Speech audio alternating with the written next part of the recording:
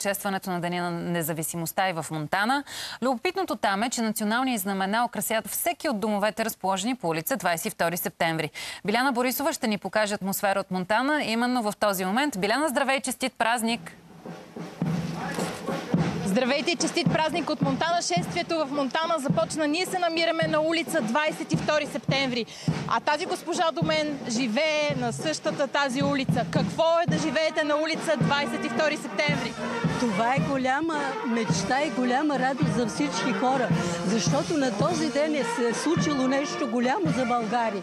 Княжество България вече е свободно и е истинско и е българско.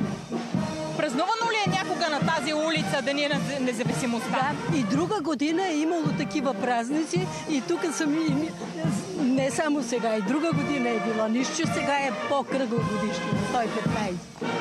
И към Нели Василева от община Монтана. Госпожо Василева, как празнува Монтана независимостта? Ами празника вече започна с шествието, което виждат всички ваши зрители. То преминава по улица 22 септември. Тя е наименувана така през 1928 година с решение на Фердинандския градски общински съвет в чест на 20 годишнината от обявяването на независимостта. Името е възстановено през 1994 година с решение на Общински съвет Монтана.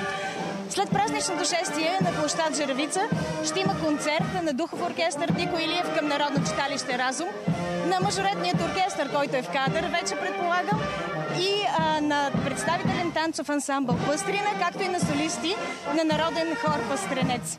Надявам се, че те ще създадат празнично настроение с изпълненията си, защото Духовия оркестър, например, е включил в програмата емблематични творби, като Родина марш на Николай Братанов, както и Дико Илиевите хора, Лудо Младо и Дунавско.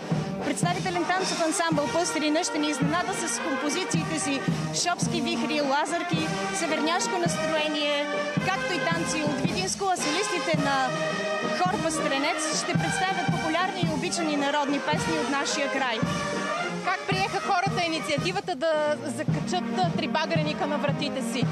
Ами това беше всъщност инициатива на общината. Ние сложихме три багрениците на общините, на общината, три багреника на националния три багреник на улицата и а, предния ден а, отправихме писмено послание към всички, с което им припомнихме какъв е повода за днешния празник, какво организира общината и ги помолихме да излязат и да приветстват красивите ни мажоретки, духовия оркестър, танцовия състав в 10.15. Какво, си, какво пожелавате вие на днешния ден? Пожелавам най-вече на хората много здраве, свободно мислене и това, което мечтае да им се сбъдне. И на всички хубав празник. Благодаря ви. Нали може да в Монтана шествието заедно с духовата музика Дико Илиев, с мажоретките на Младежкия дом в Монтана. Празника продължава и с концерт в центъра на града. Благодарим ти, Биляна, за това включване. Видяхме каква е атмосферата от живата връзка на Биляна Борисова в Монтана. А сега отправяме се отново